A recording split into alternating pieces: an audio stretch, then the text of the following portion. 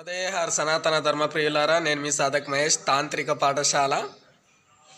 అలా మన్సంగం ధామ్ నుంచి బయలుదేరేసి పదకొండున్నర పన్నెండు కిలోమీటర్ల వరకు ప్రయాణం చేసినాం. శ్రీ టాటంపరి మహారాజ్ ఆశ్రమం అని చెప్పేసి అని ఇది ఇక్కడ ఉందన్నమాట. చాలా బాగుంది.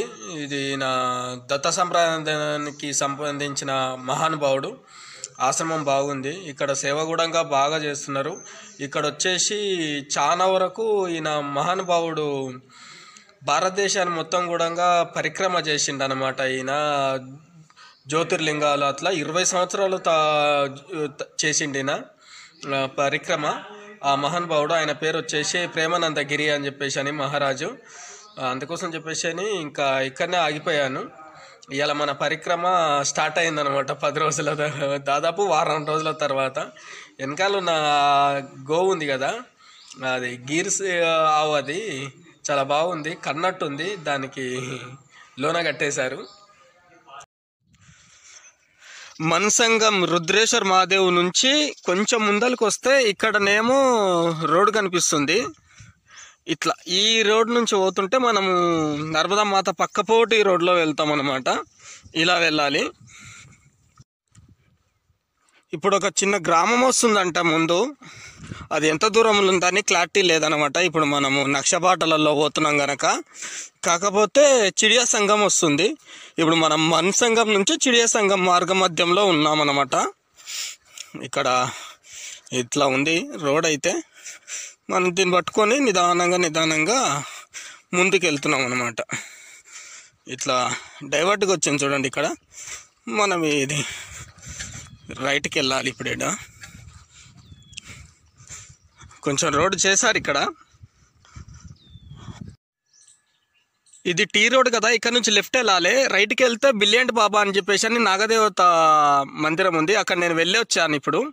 మందిరం బాగుంది అక్కడ ఉన్న సాధువు కూడా బాగున్నాడు. టీ ఇచ్చాడు తాగి ఇలా రిటర్న్ వచ్చేసి ముందుకు వెళ్తున్నాను నేను ఇప్పుడు. ఇప్పుడు మనకు కోట కోట్టాడ అని చెప్పేసి అని వస్తుంది ఊరు. కొత్తాడ చేరుకున్నాం మనము. ఇది ఊరు బయట నుంచి చూపిస్తున్నాను చూడండి. చిన్న డ్యామ్ లాగా ఉంది పైన స్కూల్.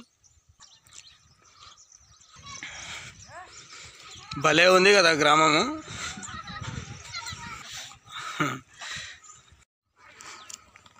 కోటాడ గ్రామంలోనే మనకు వై జంక్షన్ ఉంది ఊరు చివర్లో. ఇక్కడ నుంచి మనం రైట్ ఎడాలి. మనం వెళ్ళాల్సింది పరిక్రమలో శుక్లేశ్వర మహాదేవ్ మందిర్ అని చెప్పేసి అని అడగాలన్నమాట. ముందు చిడి నది ఉంది. ఇది చిడి నది సంగమం అన్నట్టు. మనం పరిక్రమ లెఫ్ట్కి వెళ్ళాలి. రైట్కి వెళ్తే శుక్లేశ్వర మహాదేవ్ మందిరము ఒక తొమ్మిది వందల మీటర్లు అంటే ఒక కిలోమీటర్ కొంచెం తక్కువ కిలోమీటర్ ఉంది. దర్శనం చేసుకొని రిటర్న్ రావాలి.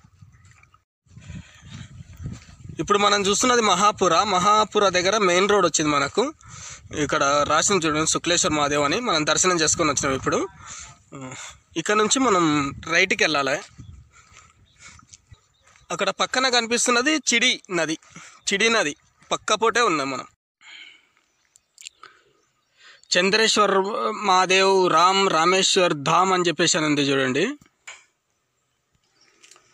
ఇది చిడి నది పైన ఉండే పూల్ దగ్గర ఉంది మందిరం చిన్నగా.